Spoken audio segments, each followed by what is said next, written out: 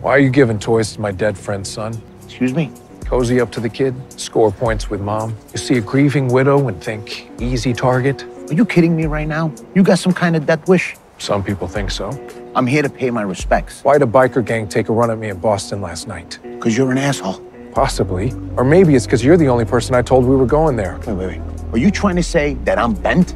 Not trying to say anything. You know why I was talking to Mikey? Because I know what he's going through. I know what it is to look out the window every night and pray that the next set of headlights coming down the street is your father's car, even though you know it'll never happen. Because you saw the guys from Romano's funeral home throw dirt on his casket. Do you know what it is to lose family? Yeah, they're all dead. Every one of them. And I was talking about you, not your father. I'm talking about him. My father was a cop, a good one, and he refused to be on the take, and they killed him for it.